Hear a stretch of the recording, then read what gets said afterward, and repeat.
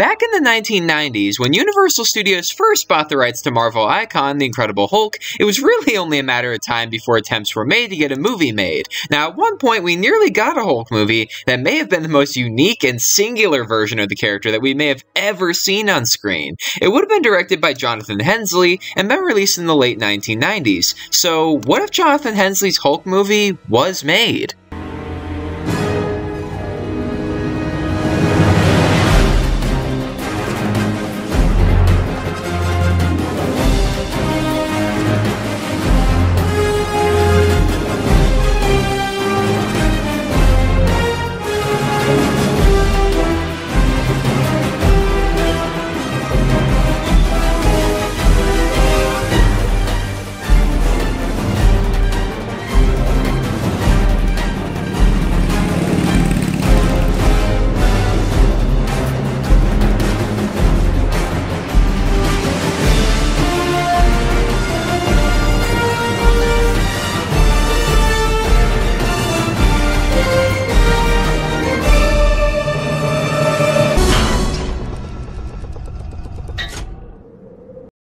In later 1990s, Universal Studios had been attempting to get a new movie about the Incredible Hulk off the ground. Their first effort would have been based off a script written by John Turman, who ultimately decided to leave the project due to having a fear of studio interference. I don't blame him at all, so Universal decided to move on without him. They were hoping to convince Joe Johnston, director of The Rocketeer and Jumanji, to direct the new Hulk movie. Jonathan Hensleigh, the movie's producer, and Joe Johnston had actually worked on Jumanji together, so they were hoping that he would convince Joe Johnston to sign on, and he initially was indeed going to be directing the movie, seemingly, with he and Hensleigh set to sign a pay or play contract, which basically means to get paid whether the movie actually gets made or not. Now, Johnston, however, ended up leaving the project during negotiations because he read an early script for October Sky and was honestly more interested in directing that instead. Universal CEO Casey Silver then turned to Jonathan Hensleigh, but this time he asked if he'd be interested in directing the movie instead of producing it, based off a script that would be written by Zak Penn. Penn would actually end up eventually working on a number of future Marvel projects, including X2 X-Men United, X-Men The Last Stand, Elektra, the first Avengers movie, and The Incredible Hulk. Now, Penn's version of the movie would have actually started off with Bruce Banner being hassled by bikers in a bar. He would then attack them as The Incredible Hulk after they failed to listen listen to his warnings about not making him angry, because they wouldn't like him when he's angry, obviously. Now, we then cut back to a pre-Hulk Bruce Banner, and the rest of the movie would just be the origin story. However, this version of the movie was rejected, and Hensleigh ended up writing his own draft instead, which he co-wrote with Larry Karaszewski, Scott Alexander, and J.J. Abrams.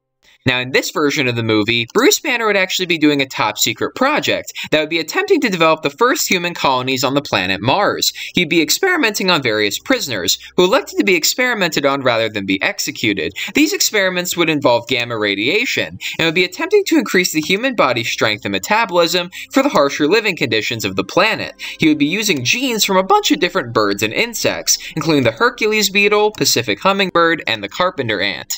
Now, unbeknownst to Bruce, the prisoners are all secretly planning to try and escape, and one of them actually fakes having a seizure. However, their escape attempt ultimately fails when an explosion occurs, a huge one, causing all three prisoners along with Bruce to be directly exposed to gamma radiation. The prisoners, as well as Bruce, seemingly all come out unharmed, and the convicts manage to successfully escape and flee to a motel. The motel then gets surrounded by the National Guard, and the three soon turn into monstrous hybrids of an ant, hummingbird, and beetle respectively. Bruce, watching on the news, realizes what's happened, and he attempts to try and stop them. Now, on the way there, he would transform into the Hulk for the very first time and crash his car. He then takes the fight directly to the hybrids, while also fending off attacks from the military. Hulk ultimately manages to outwit and defeat all three villains before escaping from the military, leading to a presumed sequel.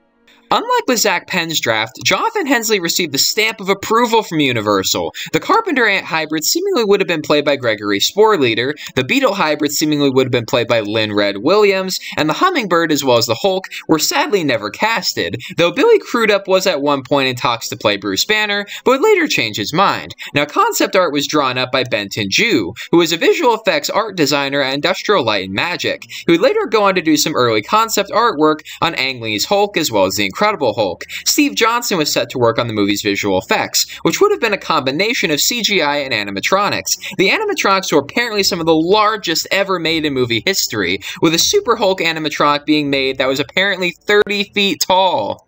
However, this movie was basically ripped away from Jonathan Hensleigh for something that wasn't even his fault. Basically, there was a huge change in leadership over at Universal. Casey Silver, who hired Hensleigh as director in the first place, was voted out due to not being firm enough with his directors, which led to many Universal movies going over budget and being massive flops. Now, considering this movie would have needed a budget of at least $100 million, not counting the millions already spent on pre-production, as well as the fact that Batman and Robin had recently come out and flopped hard at the box office, it's sadly a little bit understandable to me why this movie ended up being canceled. So, what do I think of Jonathan Hensleigh's Hulk? Honestly, there are parts of it I really like and parts of it I'm a little concerned about. Uh, I'm a little concerned about the plot. It seems a little too thin. Like, there doesn't seem to be nearly enough Hulk scenes in it. And I actually think, in that regard, it might have come off worse than the Ang Lee version, which I already didn't think had enough Hulk in it.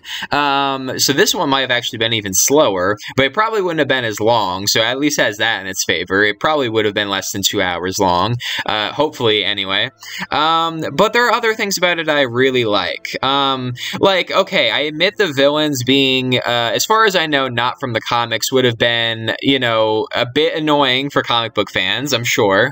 That doesn't mean I don't think that sounds interesting. Like, because it's, it's been said before, this version of the Hulk would have been heavily inspired by David Cronenberg's The Fly, and I, I can tell, honestly, um, from from what I've heard, I can tell that that's where the inspiration came from. And you know, The Fly was a really good movie. It was a disgusting movie, but it was a really good movie.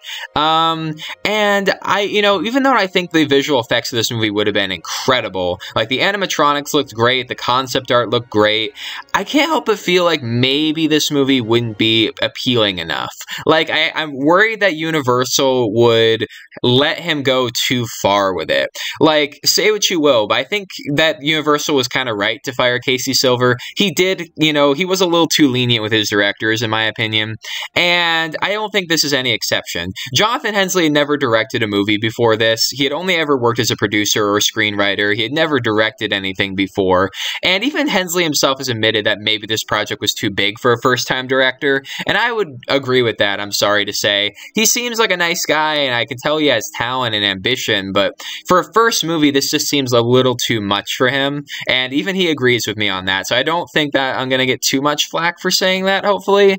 Um, but yeah, I mean, so much money would needed to be spent on this movie for those practical effects, which I think would have looked great, but then you have to remember that if they were going to take inspiration from The Fly, it would probably alienate audiences. Like, you know, parents aren't going to take their kids to see a movie with that much gore in it if it was going to be that gory or graphic. Um, so I just I can't help but feel like maybe this movie wouldn't have done as well as Universal wanted it to. I'm sure that you know teenagers and adults would have absolutely loved this movie. Hopefully, anyway. I'm sure some diehard comic book fans would have some issues with it. Um, the script does seem a little too small scale, and I'm sorry, but the graphic stuff just it doesn't sound like it would appeal to to wider audiences. So I can't fully say this is a huge missed opportunity of a film, but I also want to say it is because like one of the main issues about the Ang Lee one is that you know the the special effects were crap. I'm sorry, but they were. The Hulk looked terrible in that movie, uh, even for 2003 standards. Like that was the same year that like you know um, Lord of the Rings: Return of the King came out, and those movies were filmed years in advance for the record. And the CGI in the Lord of the Rings movies looked way better than than, than they did in Hulk. So you know, and same with the Harry Potter movies, um, the, at least the second and third ones. Um, so I just I felt like the Hulk movie we got from Ang Lee had no excuse to have such terrible CGI, and the practical effects would have looked a hell of a lot better. But yeah, this movie it just it sounds very expensive. It has an inexperienced director at the helm. The plot is a little too thin, and I'm worried it would alienate audiences. So even though I really want to say this is a huge missed opportunity, and I do think it probably would have been better than the Ang Lee one, I can't from the bottom of my heart say I think it would have been like this great magnum opus Hulk masterpiece. It just sounds like there's there's too many you know there's too many questions. It raises too many questions. At least for me it does. And i'm sure it did for universal as well which is why they pulled the plug on it. But you know it is still heartbreaking to see because the people who worked on this movie whenever they talk about this movie in interviews they seem so sad. Like they seem so heartbroken this movie didn't happen. And for that i feel really terrible for them. And you know i do wish this had been the hulk movie we got instead of the ang lee one even if i don't think it would have been the best hulk movie ever maybe maybe it could have gotten better. Maybe he would have had people working with him that could have steered him in the right direction as a director. Um, you know, maybe it would have been ghost directed. I don't know. Um, but you know, I, I can't deny that the Hulk is a great character, and it really shouldn't be that hard to get a Hulk movie right. Um, and you know, with great visual effects, I mean, that's that's gotta already be better than the Ang Lee one, right? so that's just my opinion on it. Let me know what you guys think of Jonathan Hensleigh's Hulk in the comments down below. Also in the comments down below, make sure to give me more what if recommendations, whether it's about the Hulk, uh, Spider-Man, Marvel, or whatever the hell else you can think of.